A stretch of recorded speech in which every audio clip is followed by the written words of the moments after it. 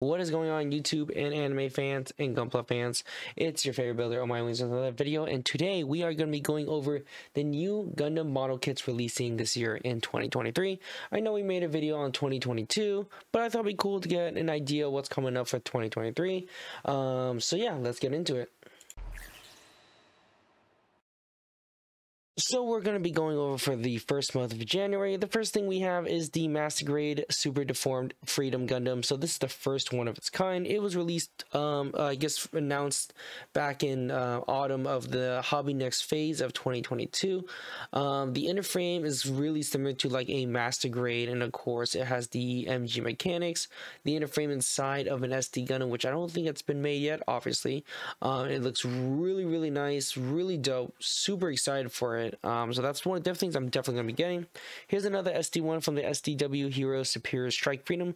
So of course, not on top of the Freedom, you also get the Strike Freedom um, Dragon, which is I guess like a different type of Strike Freedom, but it's all gold and it looks pretty epic as well. Uh, this was also confirmed at Hobby Next Phase. And as we go down here, we have the BB Senshi, Senshi uh, New Gundam. Uh, this is a release date for March 2023. Uh, I thought I already had one, so for some reason I see one right here in front of me. Um, actually, this is a different one. So the one I have is just a exclusive uh, SD from the Gundam Side Colony. So this technically isn't the BB Senshi. So this is a little different. Uh, I personally think it's the same, but I just got mine in from. It looks like the date is from March 2023. I got one from P Bandai, so I don't know if it's because it's the same thing. Um, I don't know. I already have this one, so it's kind of weird how they're releasing it here. So that's kind of weird. Um, and on to the entry Gundam in high grades. So it looks like there's nothing for the entry. And as for the high grades, it looks like we got ourselves the Beguir-Pente from uh, Witch from Mercury, and as well as the Michaelis. So these are both from Witch from Mercury. Uh, expected to release sometime in January as well. So we got some January kits. A lot of them actually. Uh, of course, we have the Zowort. Um, so these ones are definitely coming from January as well for the HG. And we have this award for February, so that's my birthday month with the school. And of course, we have the Kaku's Donzaku uh, in February, and as well as the RX-78 also in February.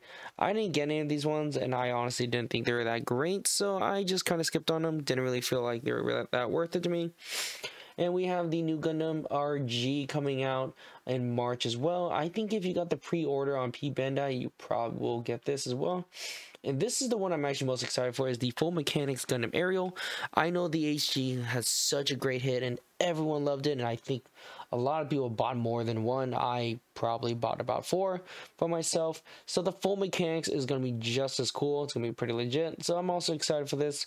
This is will be really good. I think the last full mechanics we had was in the IBO uh, series. So this should be really exciting. I'm pretty sure a lot of people are going to be doing some customs. So that's exciting. And of course, we all been waiting for it in February as well, is the Master Grade Zeta Gundam Ver.Ka.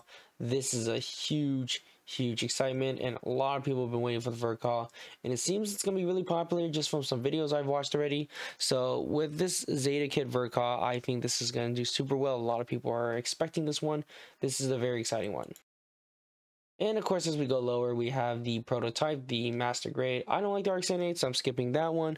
And it looks like we have the Verkaw 2 Assault Buster Gundam uh, Victory, but for some reason, I thought this already came out, but I guess this is a, I guess if you bought it from P Bandai, I guess we'll be releasing. And of course, we have the Zakuto Dozle Zabi use. I don't really care for this one either. It's not really interesting to me, so I'm gonna skip that as well.